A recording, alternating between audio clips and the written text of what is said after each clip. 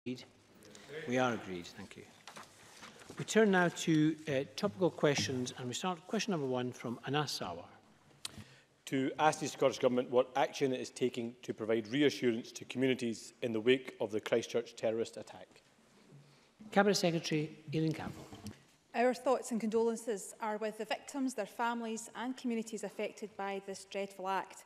The First Minister has sent condolences on behalf of Scotland to the Prime Minister of New Zealand. We stand in solidarity with Muslim communities across the world. The First Minister, the Cabinet Secretary for Justice and myself have visited and been in contact with Muslim communities in Scotland, including a visit to Glasgow Central Mosque on Friday to offer reassurance and our heartfelt support.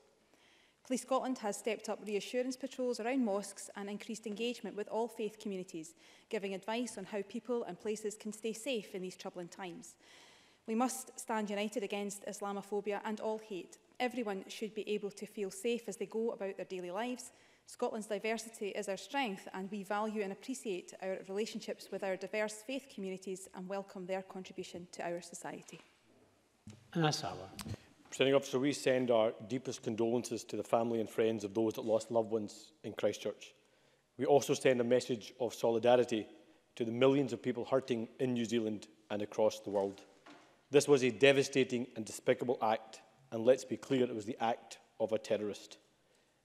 In the aftermath of this latest tragedy, it is important that we unite and work together to confront hatred in all its forms.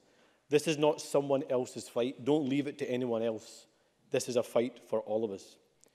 One of the issues raised with me is the ongoing security concerns at places of worship. No one should have to fear for their own lives, especially when in a mosque, a church, a synagogue, a mandir or gurdwara.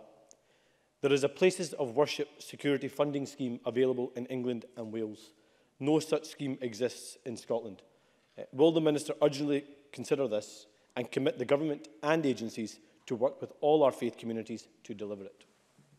Cabinet Secretary. Uh, I thank Anas Sarwar for his remarks. I associate myself with much of what he said around the act of solidarity that's so necessary at this point of grief and uh, vulnerability for so many. Um, the recent visit to Glasgow Central Mosque by the First Minister and uh, Humza Yousaf, they committed to explore further what the Scottish Government could do to provide reassurances to all faith communities and their places of worship, including exploring the issues around safety and security and, of course, touching on the issues around the funding that Anna Sarwar uh, eh, mentioned. So we are working uh, through that and we'll continue to keep Parliament and uh, the member involved as those discussions develops, bearing in mind the, the real plea and call from the communities around needing that extra reassurance and support from their parliament and from their government at this uh, incredibly stressful and uh, vulnerable time. Anasawa. Minister, for that answer, but just do stress that this can't just be an issue that we consider in the, while the issue is still hot as a topic, but it needs to be something that needs to be urgently considered in the weeks and months that follow. Presiding officer, I'm sad to say that this tragic attack didn't surprise me, and it probably didn't surprise Muslims across the UK and across the world. The us versus them rhetoric, the sowing the seeds of hate, and the othering of our fellow citizens has become all too common. Security, our places of worship, is one thing, but security and belonging at our homes and our everyday lives is equally, if not more, important. While social media has opened up our world, and I believe it is a force for good, It has also allowed people with extreme views to amplify, recruit, organise and fundraise. That simply can't go on. What action will the Scottish Government take to engage with social media platforms and make them understand their responsibilities to help create a fairer and more equal world? Cabinet Secretary. Again, I, I thank Anna Sarwar for raising those points and in particular those issues around social media and the amplification of messages of hate, those toxic messages that do so much damage. Uh, I chair uh, uh, an action group that looks to, to try and establish much more cohesive communities and tackle the prejudice that he talks about and certainly those are the issues that we are, are looking at and we'll continue to maybe further investigate what more we can do around the platforms on social media. Uh, but I think also uh, being elected that we are in a privileged position to be listened to and to influence more generally. I mean, I think we can list, use that privilege in one of two ways. We can show that leadership, the empathy and the resolve to build a tolerant and peaceful and respectful uh, world and communities and to reach out to those who feel threatened and vulnerable and fearful and celebrate the diversity. Or we can also or we could use that position to, to choose to stoke up hate and use that toxic language and that practice of othering. It, eh, that's what we've seen too much of. And so we cannot remain immune from the consequences of that toxicity of language that many uh, choose to use uh, that will inevitably bring uh, consequences like we have seen in New Zealand. So I think I stand with uh, Anna Sarwar that we should all resolve to call out hate, promote tolerance and respect, show solidarity with our Muslim communities and friends who need our support at this time and know that we love and cherish uh, what they contribute to our uh, diverse Scotland and we should explore and continue to explore ways in which we can to, to, call out hate and make sure that we can use every avenue op open to us to make sure that we can have that peaceful, tolerant Scotland and make sure that we can cherish our diversity, which it preaches uh, tolerance and respect. Liam Kerr to be followed by Patrick Harvey. Thank you, Presiding Officer. I associate myself with the Cabinet Secretary's comments as to the abhorrence of the attack in Christchurch and the comments made thus far. Uh, we also extend our deepest sympathies to all victims of this horrific act. The Cabinet Secretary is right that governments can and should take steps to reassure communities across Scotland, uh, yet it is often by simple acts of unity and togetherness that we defeat such evil. Anna Sarwar is absolutely right. This is a job for all of us together. Uh, so what steps does the Cabinet Secretary suggest Scots can take to show minority communities they are welcome neighbours, colleagues and friends? Cabinet Secretary. Well, I think people can reach out to the Muslim communities in their areas. I think we show, show we, we saw such a great strength of solidarity through some of the uh, gatherings in Glasgow. Uh, I know certainly that the Muslim, Muslim leaders that I spoke to were really just appreciative of that simple act of a phone call to reassure and stand in solidarity uh, with them. But more generally, we can call out that hate, uh, we can call out that practice of othering, we can call out the toxicity of language that we see too often in political discourse, in the media and social media platforms uh, as well. And certainly that was one of the reasons why myself and Hamza uh, Yousaf uh, were jointly launched uh, the Tackling Hate campaign, which showed uh, that we wanted to encourage others to call it out and to use either the police, as one way in which you can call out that hate or to use the third sector, uh, third party reporting centres uh, as well if you wanted to do so anonymously. So again, we would underline that message to call it out, uh, to report it to the police or to use those third party reporting centres. Uh, but also more generally, to reach out, not just at the point where there is something bad that happens, but to build cohesive communities which shows that love and respect at all times and not just at the point when that needs to be much more uh, firmly uh, understood. So those would be the ways in which I would uh, urge members to encourage their constituents to reach out, but also to ensure that we underline that message of calling it out when it happens. Patrick Harvey to be followed by Fulton McGregor. I'm uh, grateful that Anna Sarwar's question gives us the opportunity to, to stand together with a, a message of uh, love and solidarity for the people of New Zealand, revulsion not only at the violence but at the white supremacist values that underpinned that violence, but also to express, uh, I think, some inspiration. I, I've certainly felt that from the, the responses that have been shown uh, by the people of New Zealand, who it seems clear are not going to give ground, not going to cede ground uh, to the ideology of hatred and fear, uh, but are going to uh, affirm uh, their embrace of, of diversity uh, and, and multiculturalism and respect. The comments that have been made about social media are accurate, but I do think we also need to acknowledge, admit to ourselves, that as a society we have permitted a situation to develop where our mainstream media is awash with anti-immigrant and anti-Muslim sentiment. sentiment which is all too often taken up by those in positions of power who frankly should know better than pandering to those attitudes. And we've seen that far too much. What does the, the Scottish Government uh, have to do in relation not only to the security aspects and the policing aspects of the far-right threat, which has been so deliberately cultivated, but also in relation to our education system. What are the opportunities that we have to positively affirm the values of a society that we want to be because that surely is absolutely essential, not just to, to counter the far-right threat with security, but to counter it by building the values that we wish to express. Cabinet Secretary. Eh, and I thank Patrick Harvey for raising uh, his points, and I absolutely would uh, agree that there is a, a moment where people do have to admit that the toxicity of language that's used, not just in the mainstream medias, but in many parliamentary chambers eh, across Europe, has allowed that toxic language far too often and created that culture where, eh, unfortunately, things like this will inevitably happen. And I would certainly cite Danny Garavalli's eh, article that she wrote in The Scotsman, which called out some of that, eh, eh, that behaviour eh, and would encourage members eh, to, to read that. And also about calling out the crocodile tears that often get shed at the point of something traumatic like this happening. Um, Patrick Harvey raised a couple of uh, good points in terms of education. Uh, absolutely, the, the capacities within Curriculum for Excellence ensure that people are in getting the understanding of the need for uh, tolerance, respect, that understanding about being an effective contributor to our society uh, when they emerge into their own adulthoods to make sure that they uh, our people, our young people are aware of the, the need to be tolerant and respectful Uh, and of course, there is uh, more that we can always do. And certainly one of the issues that I'm looking through through the action group, the Tackling Prejudice Action Group, is around what more we can do to link across to other areas of education, youth work, for instance, uh, about how we ensure that our young people emerge uh, to become uh, people who are effectively and positively contributing to our society uh, as well. But you know, on, on this and on any other issue, I'm happy to engage with members on what more we can do, if there are other things that we should be doing, if there are other ways in which we can work, because this is not something that is just owned by one political party or the government. This is a whole it transcends party politics. This is an issue about the type of country we want to create, the type of Scotland we want to be, and it's about respecting diversity, respecting other cultures and appreciating what that brings eh, to our country and how we can continue to promote that and reject hate uh, and to ensure that everyone feels valued and who contributes so much to our country. And Fulton McGregor.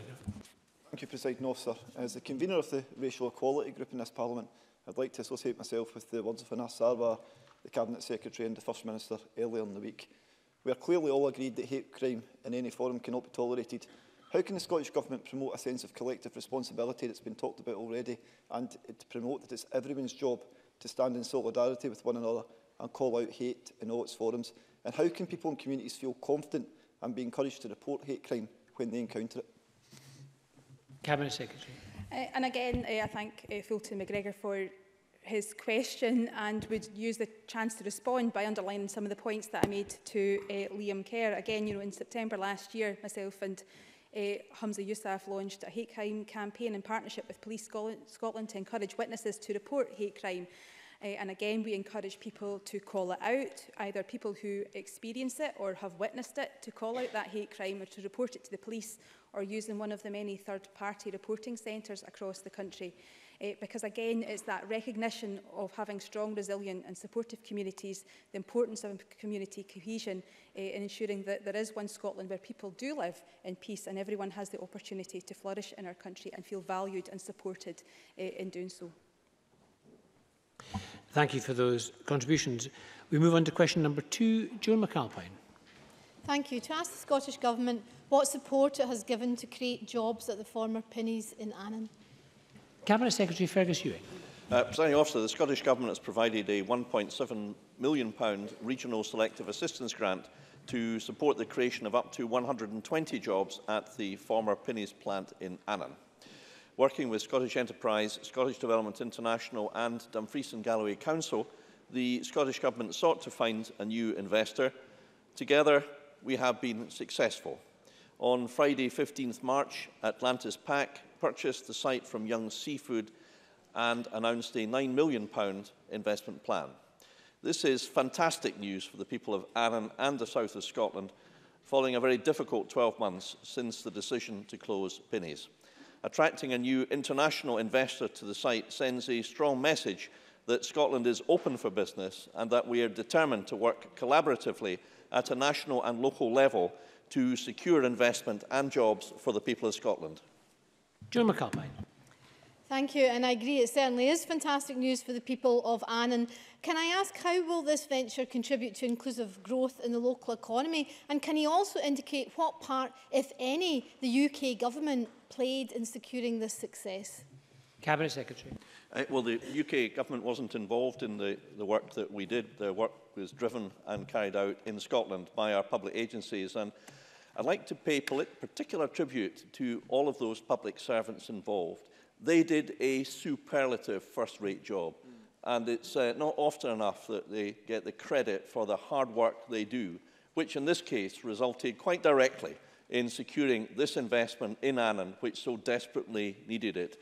It eh, regards the significance, uh, obviously, on the 13th of March, we, we uh, uh, announced the investment of, uh, proposed investment of £85 million pounds in the Borderlands Inclusive Growth Deal over the next 10 years, and this will help to drive forward improvement on skills, digital connectivity, tourism and infrastructure uh, development. We're slightly disappointed the UK government hasn't matched the level of our investment, uh, as they are putting in a, a lower sum of 65 compared with our 85 million.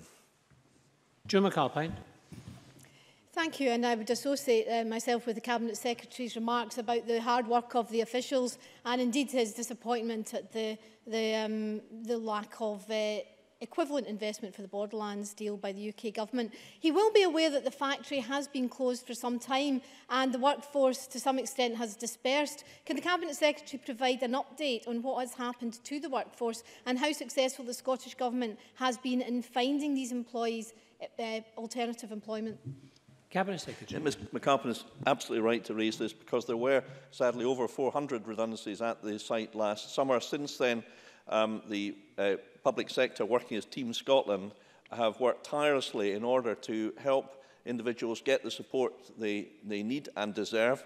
Firstly, through PACE, Partnership Action for Continuing Employment, uh, and secondly, through the public sector holding uh, two uh, jobs opportunity fairs, one in July, one in October, one of which I attended, which again was a very well run event, which I saw for myself in Annan and provided, uh, I, I think, the opportunity to 200 individuals to meet 19 employers and recruitment agencies exhibiting over 350 vacancies.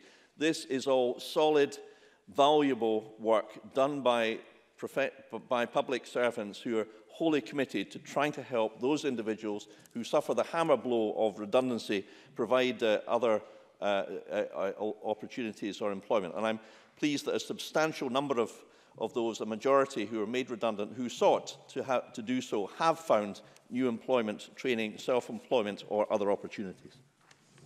Oliver Mundell to be followed by Colin Smith. Thank you, Presiding Officer. I think uh, people living in Annan will be extremely disappointed in what is a universally good news story uh, to see politicians attempting to play petty politics uh, and, and claim uh, all the credit uh, when they weren't interested in uh, stepping in immediately at the time to provide the relief that families were looking for.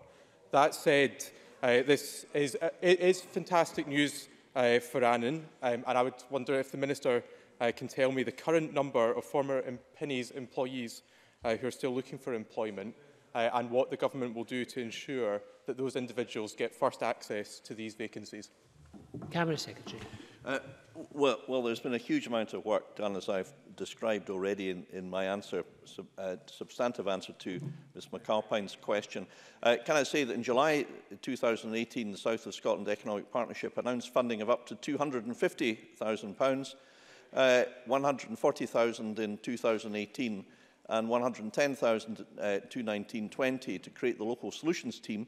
That team is developing projects and opportunities for economic uh, development, uh, identifying sites for business expansion, for example, clearance of the site at Stapleton Road in Annan, next to the Pinneys uh, site. Uh, and as I say, I, I have uh, uh, seen the response from well, Mr Mandel's keeping up a constant sort of barrage, sort of voce, but if he wants to listen for a moment, uh, I, uh, I can assure him uh, I can assure him that, uh, uh, that a substantial number of those who were made redundant last year who have sought employment have found new employment, training, self-employment or other opportunities, uh, and I'm delighted that that's the case. And yesterday's uh, announcement, presiding officer, will now provide the opportunity for uh, up to 100 people to obtain employment over the coming year when production is hoped to restart and recommence in pennies in the autumn. And I, I think that's a terrifically good news story. Uh, and uh, we're working hard with the company to see if in future there are other opportunities to build on that further in other ways. And I was very pleased to have an initial discussion at my meeting with Mr. Baghat and his uh, his family yesterday at Annan, which was extremely cordial. And last thing I would say is that uh, uh, Mr Baghat in his short speech actually mentioned the public servants by their Christian name and said, I'm able to speak to any of these individuals at any time. He really appreciated that. So I think it's right to, to heap praise on those individuals who work in the public service who helped to secure this terrific result. Colin Smith. Thank you, President Officer. Uh, and can I echo the Cabinet Secretary's thanks to all the Council and, and Government agencies staff involved in helping secure a, a very welcome buyer for pennies. Like the Cabinet Secretary, I had the pleasure of, of meeting the new owner, Kishaf Bagat, yesterday, and I was encouraged by his desire to grow the workforce, hopefully beyond the initial planned 120 posts. But could the Cabinet Secretary confirm that given the welcome financial support through Scottish Enterprise, that, that workforce will benefit from the Scottish Government's Fair Work First criteria, including full trade union recognition and collective bargaining. And given the fact that hopefully the post will grow, but it's still currently below um, the number that were lost when Pennies closed, can the Cabinet Secretary say what more the government will do to support and grow the jobs prospects for the people of Annan and surrounding area? Cabinet Secretary. Yeah, I think Mr Smith makes a series of very fair points. And to answer his first question, I can confirm that the RSA grant funding that uh, has been that uh, has been agreed and will be provided is one of the first under the Scottish Government's Fair Work First initiative, which is committed to fair work, job security, fair pay and a greater voice for workers. As part of the RSA application, the minimum salary at the plant will be in excess of £18,000, above the £9 per hour Uh, living wage, and the majority of salaries are well uh, above uh, that amount. He's quite right to say that uh, a greater number of people lost their jobs than are the new jobs being provided at this stage, or at least in, uh, in the autumn of uh, this year. And a huge amount of work is continuing to be done, both in working uh, with Mr Bagat and his, uh, his team but also with other potential employers in the Annan area. And I'm very pleased that the local solutions team is playing an active uh, part for that. And I hope Mr Smith would agree with me that if the UK government were prepared to match the Scottish government's level of commitment, £85 million pounds instead of their £65 million, pounds,